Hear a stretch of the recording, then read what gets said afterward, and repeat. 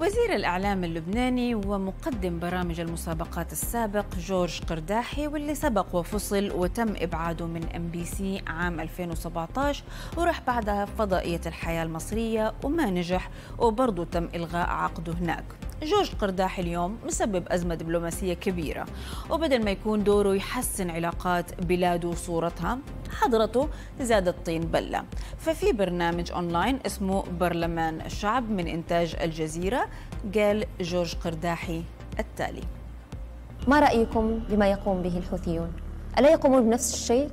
يعني تنظيم مسلح يدافع عن أرضه؟ بلى يدافع عن أرضه طبعا ما موقفك من ما يحدث في اليمن؟ طيب دفاع عن النفس مش عم يدافعوا عن نفسهم الحوثيين هن عم يعتدوا على حدا؟ هن هم يعتدون على أحد؟ يعني في نظركم ما يحدث يعني ما يقوم به يعني أنا أعتقد في اليمن؟ أنا في نظري إنه هذه الحرب هذه الحرب اليمنية عبثية يجب أن تتوقف.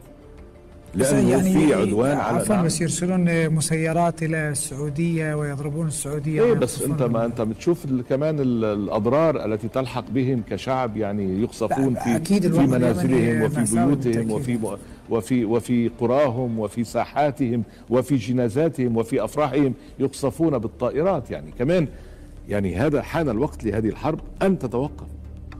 عبثيه صارت هذا رأيي. بس إنه ما فينا نقارن بين آه جهد حزب الله في التحرير وفي تحرير الأرض اللبنانية وجهد الحوثي الذي يدافع عن نفسه في وجه اعتداء خارجي. أستاذ جورج يعني اليوم الإمارات والسعودية يعتبرون اعتداء خارجي على اليمن؟ نعم. أنت تعتبرهم اعتداء اعتداء خارجي الإمارات والسعودية على اليمن؟ اعتداء أكيد في اعتداء أكيد في اعتداء التصريحات اللي سمعتوها انتشرت من هنا وقامت الدنيا على جورج قرداحي من كل الاتجاهات. اولا اسمه من وقتها ترند وسعوديين وإماراتيين وعرب جالسين يردوا عليه ويذكروه بكثير قصص يبدو إنه هو ناسيها. وسياسيا زي ما قلت لكم عمل أزمة. مجلس التعاون الخليجي وفي بيان حازم رفض التصريحات جملة وتفصيلا واعتبرها بتنم عن فهم قاصر وطالبوا بالإعتذار. اليمن تحرك كمان دبلوماسيا وغير تصريحات عدة مسؤولين يمنيين الخارجية اليمنية وجهت سفيرة في بيروت بتسليم الخارجية اللبنانية رسالة استنكار. أما لبنانيا فأول من تخلى عن مقدم برامج المسابقات السابق كانت حكومته نفسها. رئيس الحكومة نجيب ميقاتي طلع بيان رفض فيه حديث وزير إعلامه وقال أنه ما بيعبر عن موقف الحكومة إطلاقا. والخارجية اللبنانية كمان طلعت بيان قالت فيه نفس كلام ميقاتي ومع كل هذا مثل ما قلت لكم اسمه ترند والهاشتاج مليان مطالبات باستقالته أو إقالته ومنها مطالبات من مجلس التنفيذيين اللبنانيين وهذا مجلس بيضم 150 شخصية من بين رجال أعمال ومدراء تنفيذيين معظمهم في السعودية. المجلس لفت لأعداد اللبنانيين في السعودية وطالب بإقالة أو استقالة قرداحي وقال كفاية استهتار بمصالح اللبنانيين. أخيرا وقبل أقل من ساعة خرجت الخارجية السعودية ببيان نشرت نسخة منه في حسابها على تويتر وكشفت فيه عن استدعائها لسفير لبنان لدى المملكة وتسلي وتسليمه مذكرة احتجاج رسمية بعد التصريحات المسيئة الصادرة عن وزير الإعلام اللبناني حيال جهود تحالف دعم الشرعية في اليمن. وقال أنه تصريحاته تحمل تحيز واضح لميليشيا الحوثي وتتنافى يتنافى مع الأعراف السياسية. رئيس مجلس إدارة مجموعة MBC وليد الإبراهيم هو أيضا شجب المواقف الأخيرة اللي أطلقها وزير الإعلام اللبناني جورج قرداحي قرداحي من جانبه رد بداية بتغريدات. قال فيها أنه التصريحات هذه كانت من أغسطس قبل تولي حقيبة الإعلام وقال أنه ما قصد الإساءة. ورجع بعدها شارك في اجتماع المجلس الوطني للإعلام وقال التالي اللي قلته في هذه المقابلة كان مواقف سواء بالنسبة لفلسطين سواء بالنسبة لسوريا سواء بالنسبة للبنان سواء بالنسبة لكثير من الأمور والخليج وحرب اليمن لا تلزم الحكومة بشيء لأنني لم أكن آنذاك عضوا في الحكومة. هيدي آرائي الشخصية.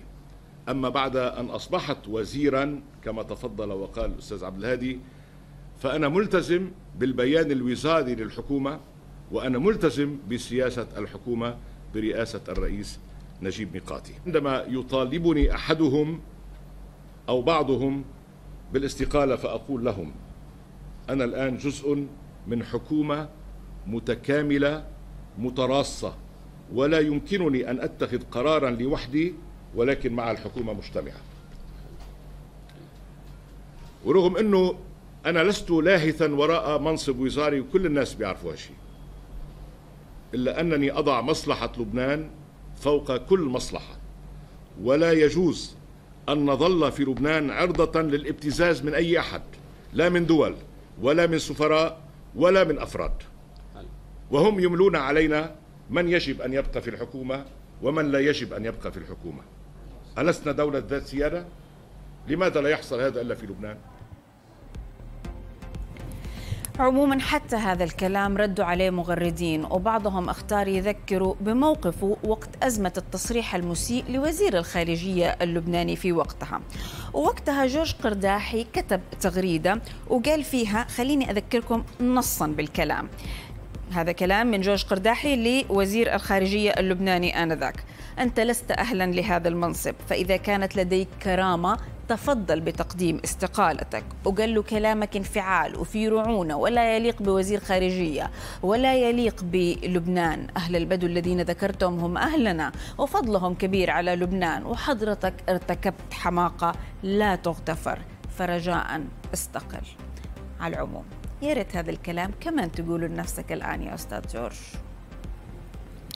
طيب عشان نحكي في هذا الموضوع أكثر ينضم إلينا من بيروت الناشط السياسي فاروق يعقوب. أهلا فيك معنا يا فاروق. يعني سمعنا حتى يعني لما رجع بعد التغريدات جورج قرداحي رجع كمان أكد وصعد على كلامه. إيش رأيك في هذا الموضوع؟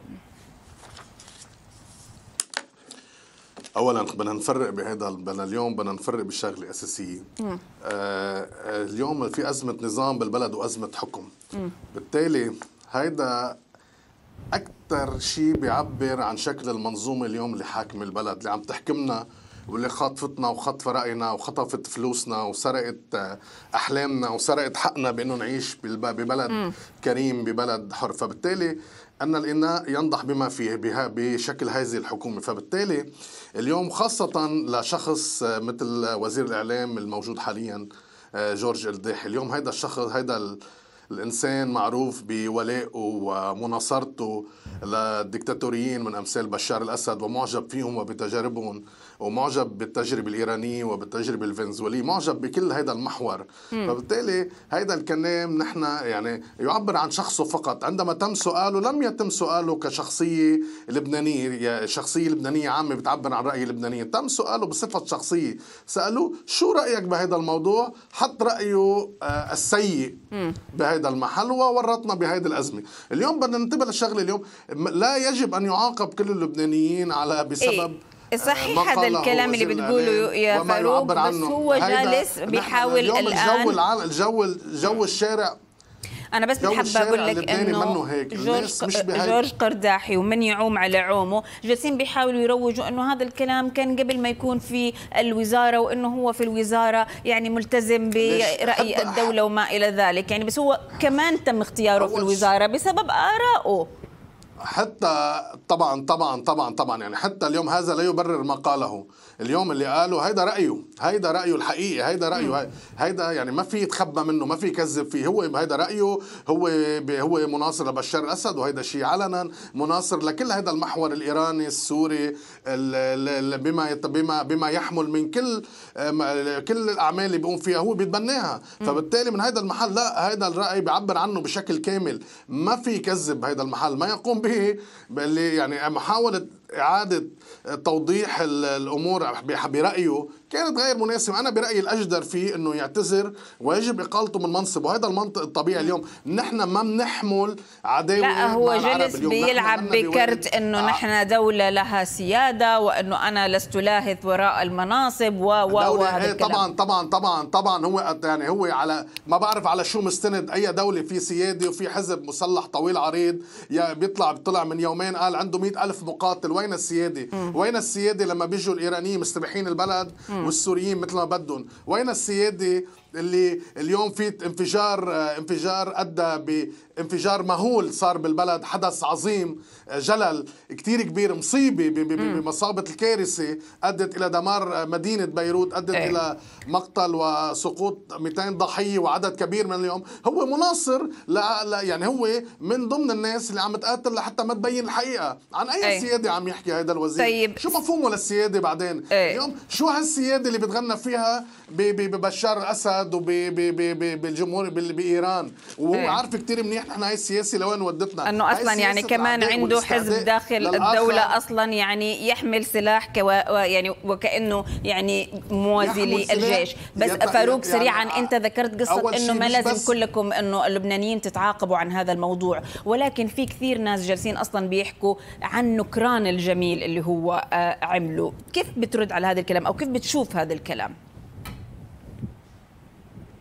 اولا آه يعني في في هيدا هيدا يعني نكران الجميل طبيعة الحال. أنا ب... اليوم هيدي مؤسسات إعلامية اللي كان يشتغل فيها. مؤسسات إعلامية بتشغل حسب الكفاءة اليوم. مثله مثل غيره لأنه اليوم هو لا يقتصر فقط عليه. أغلب أغلب المناصرين اليوم لحزب الله واللي كانوا آه، من صحفيين كانوا يشتغلوا بمؤسسات عربية آه، وخاصة بين بين السعودية ودبي والكويت وقطر وكل هذه المنطقة. كانوا يشتغلوا بكل هاي المؤسسات الإعلامية الكبيرة وشفناهم كيف راحوا وقلبوا بينوا أخرجوا ما بدخلهم من طائفية ومن ومن ومن حقد دفين آه، عند عند لحظه عند أي لحظة خلاف. شفناهم كيف اصطفوا وكيف راحوا. طبيعة الحال اليوم اليوم يعني مسألة قد إيه هو ناكر للجميل؟ هي تفصيل كتير صغير قدام قديش ما سبب من أذى للبنانيين ولا سبب رح يسبب أذى للدولة اللبنانية بسبب تصريحاته، أنا برأيي هيدا تصرف تصرف غير مسؤول، تصرف حائد، تصرف مسيء للشعب اللبناني، إيه؟ تصرف مسيء للدولة اللبنانية، اليوم نحن بلد ما بيحمل أزمات، نحن ناس عايشين على حدود خطوط الفقر، نحن قدرتنا المعيشية أصبحت مهددة بالكامل، نعم. نعم. قدرتنا الاستمرار بالحياة أصبحت مهدده طيب. بالكامل. نقوم نحن عايشين على ما يأتينا من الخارج من اموال واغلب الشباب نعم. الصبايا عايشين بالخليج وبيشتغلوا بالخليج يعني. نعم. شو عم يجرب يعمل شو عم بيقول لنا؟ شو يعني يعمل يعني؟ اليوم خرب الدنيا بتصريحاته. على العموم أنا بدي أشكرك. أزي أزي اي أنا فهمت فهمتك ووصلت آه، يعني رسالتك. أنا بدي أشكرك الناشط السياسي فاروق يعقوب واللي أيضا طالب باستقالة أو إقالة جورج قرداحي من منصبه. شكرا لك.